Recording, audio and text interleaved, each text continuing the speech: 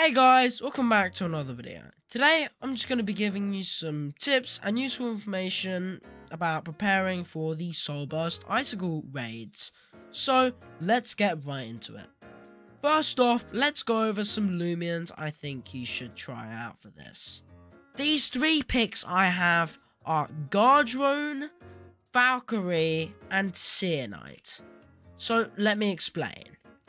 For Guardrone, it has a pretty good ranged attack stat, and it also has access to this move called Jump Start, which boosts you and your allies' ranged attack and speed, I'm pretty sure, for like two stages, but it does take a bit of your health away. And that may be a bit of a problem as Guardrone is a bit frail, but it is going to be super, super useful to have those buffs when you're attacking an extremely strong Loomian.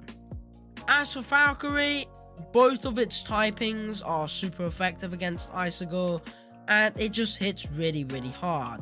As well as it being a light type, it gets access to Luster Loot, so it can heal itself back up if it gets low. It's another super solid pick that you might have left over from the Dragadyne raids, so that is why I am suggesting it.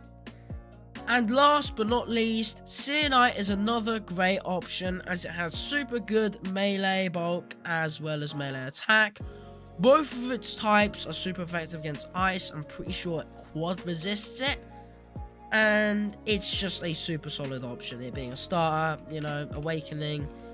Yeah, it's just really, really good as well.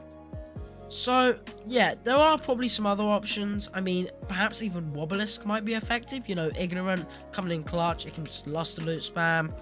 But I'm going to suggest those three before. But you probably could try Wobelisk, to be honest.